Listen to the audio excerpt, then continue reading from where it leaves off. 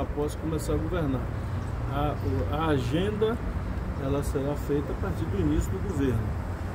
Agora, até o dia 31, aquilo que seja emergencial, aquilo que é fundamental para a gente arrancar o governo. Então, de um lado é a, a PEC e do lado administrativo é organizar toda essa estrutura para que todo mundo saiba para onde ir, quem são as pessoas, quantos cargos terão para montar, quais são os espaços físicos, ou seja, os decretos, os atos normativos, aqueles decretos, inclusive de revogação que o presidente irá assinar, por isso nós estamos já preparando todos os atos que ele precisa assinar no dia primeiro isso tudo está sendo preparado já para ele no dia primeiro. Ministro, mais uma questão, ministro. Gente, vamos encerrar. Mais uma questão, ministro. Foi ok? Não, foi ótimo. Foi não, civilizada, ótimo, de alto nível, não tenho o que reclamar. É, ele é um senador da República, me atendeu de forma muito cordial, se dispôs a fazer tudo que fosse necessário. Nós vamos continuar dialogando. Ministro, Pronto, uma última questão aqui.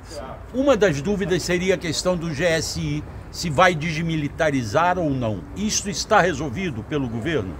Porque Olha, tem a questão da segurança do próprio presidente e do vice-presidente também nisso.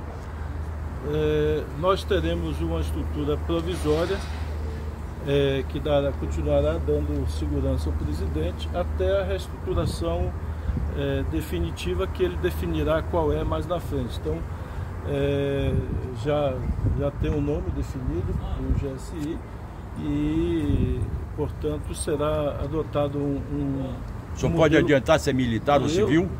Eu militar não, ou civil? Quem anuncia os seus assessores, seus ministros, é o presidente da República, ou quem ele designar, diz, ó, anuncie você, se ele não quiser anunciar.